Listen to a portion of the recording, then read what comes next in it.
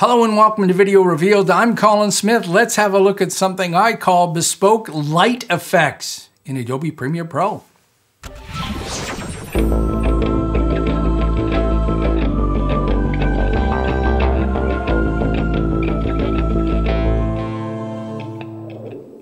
All right, let's have a look at the example and then I'm going to show you how you're, you're going to create a unique set of light effects that no one else in the world has. All right, let's have a look.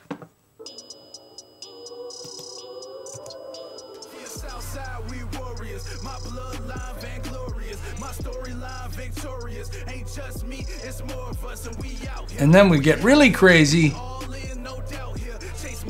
and then really crazy. So what do I mean by original effects that are tailor-made to you?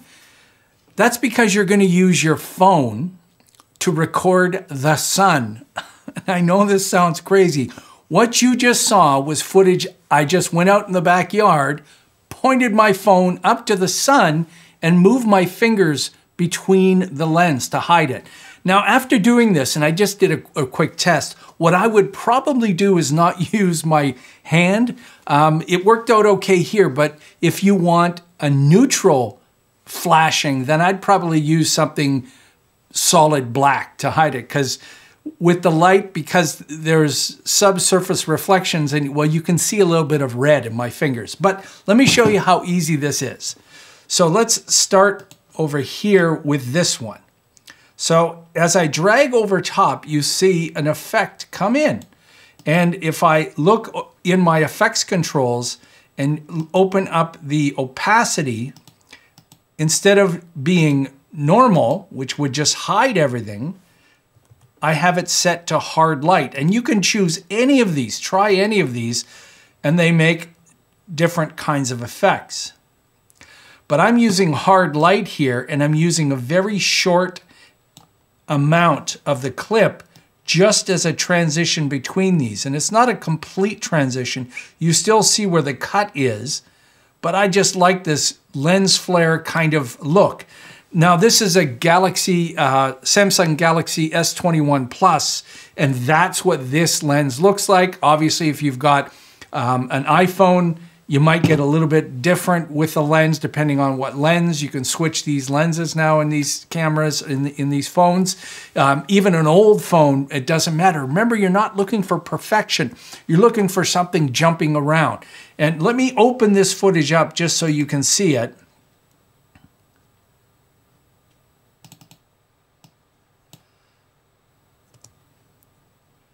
So you can see my fingers going between. And that's what I mean by a little bit of the redness in there. That. It's okay, but I would probably try something darker.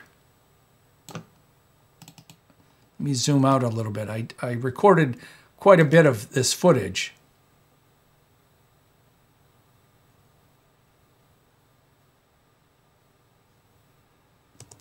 And the other one,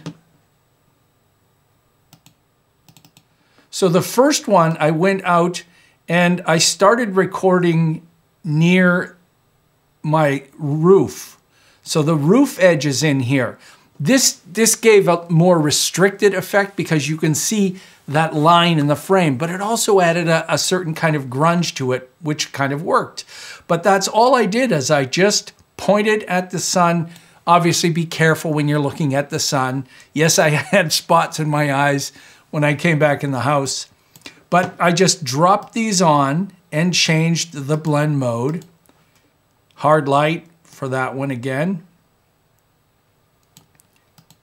And this one's set to screen. So this one is a little bit more blown out because screen is going to um, have more brights and you can see there's the edge of the roof on that one. It doesn't look that bad. It's got a kind of a crazy effect. I've got a lot of geometric shapes going on in this.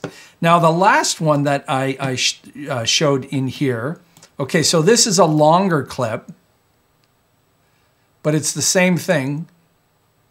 And this one is set to hard light. And this one is set to hard mix. And it kind of has that posterizing effect to this and you don't really have a lot of control but I, I thought this, this was great because you can see some of the features. And because it's moving around quickly, it's got that grungy effect.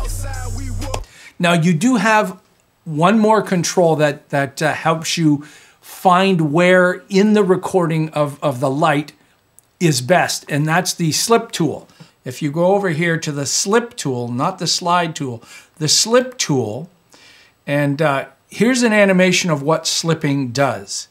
It's actually keeping the in and out points and it's moving the clip within the in and out points. So if you imagine I've got that full clip of all the lights and I'm changing what is showing in that cropped in area. And it's not going to show me the composite. I wish it would, but it I can see what is in the screen and then when I let go, then I can see what's going on. So if I want none of the fingers and more of just the sun, so now it's more of the sun and not my fingers. Or if I want the sun at the beginning and the fingers later, boom, there they come in. Remember, this one was, yeah, this one's hard light. But having the slip tool, which is the, the, the Y keyboard shortcut to give you the slip tool, you can come in here and really, there's some of the, a lot of the uh, flares. Let me change this to screen.